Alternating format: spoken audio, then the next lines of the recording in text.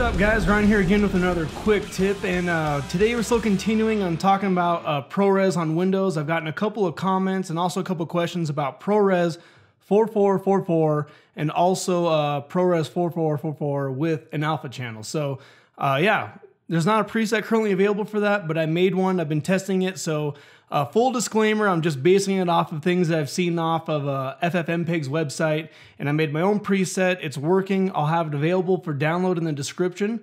And yeah, let's just jump right in and get working on it. All right, cool. So let's get started. I'll open up another GUI.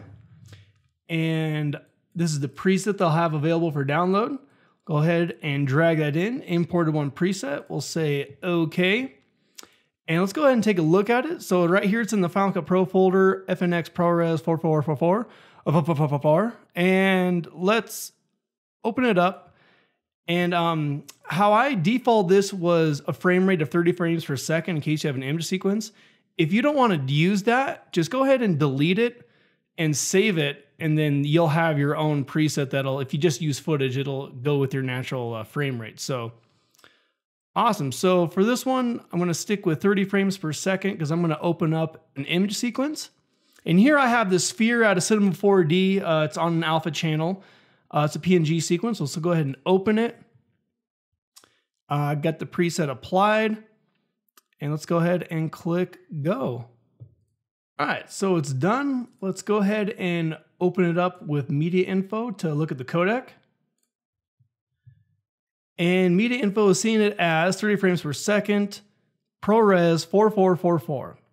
So the next thing we should do, just to check really quick, is let's jump into After Effects. I'm gonna take that same clip, I'm gonna drag it into After Effects here. And let's see, so yeah, 30 frames per second, trillions of colors. Let's make a new composition. And it has the alpha channel. Cool, so another last thing I'll uh, talk about really quick is if you notice, the clip ends with whatever my project was, which is a sphere underscore ProRes 4444.